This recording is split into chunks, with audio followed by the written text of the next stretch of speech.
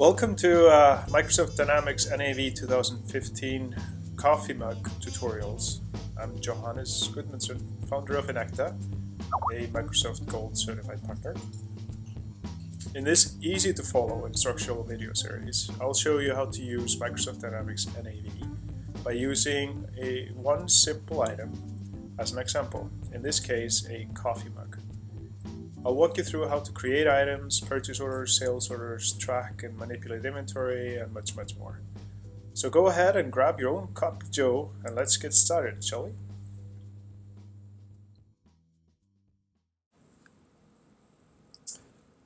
Now we're going to keep going with the coffee mug. Uh, what I've done so far is generated an item called the coffee mug. Uh, I have put that on a sales order and put it on a purchase order and then I have received the purchase order and shipped the sales order. So right now we have two entries for the coffee mug. I'm going to go and take a quick look at those entries. so in this case, uh, we purchased a thousand and for five dollars each, total amount five thousand dollars. Uh, and we sold five for seventy-five dollars. Uh, and so we do have 995 left of the original purchase. This is all shown in my history. Now, what we would like, ideally would like to see here is that there should be cost, total cost on this transaction. There is sale, there's no cost. Um, the cost should be $25 since we're actually selling um, out of these thousand that were bought for $5 each. Now, why is this not showing up? The demo system of NAV, uh, it is set up not to calculate the cost uh, on automatically on posting. It actually requires you to run a manual routine to post that. So I'm going to do that right now. I'm going to go find this routine. It's called cost adjust item entries. This is a routine that you can run at any time. You can just go ahead and click OK.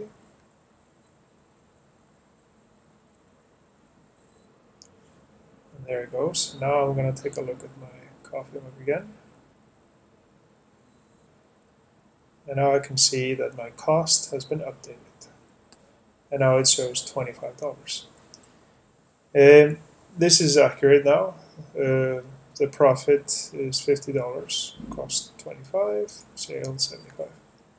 Now, if I wanted this to be automatically posted always when I um, post in the system, I can set that up by going into the inventory setup. And here, right away in the beginning, it has something called automatic cost posting. I can check that off. Say yes. And I'll put this to always Of cost adjustment. So every time there is a posting, it's going to adjust. Main reason for not having this on is that this is an overhead to the system and it could be run at night if you have high volume of transactions.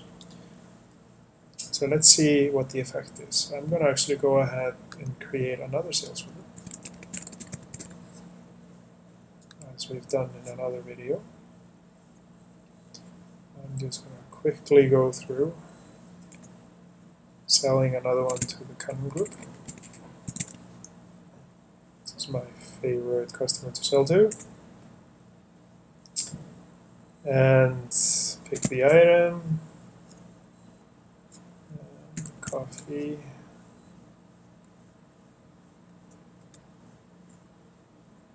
Uh, we are generally obsessed with coffee, so hence the coffee mug. 10. And we're able to get $30 for this one. High profit. Go ahead and post this. Ship an invoice how it went. Now I take a look at my item again. Two items, and I go into the transactions. And now I can see my cost amount automatically came in immediately. I can drill into it um, right here to see the detail.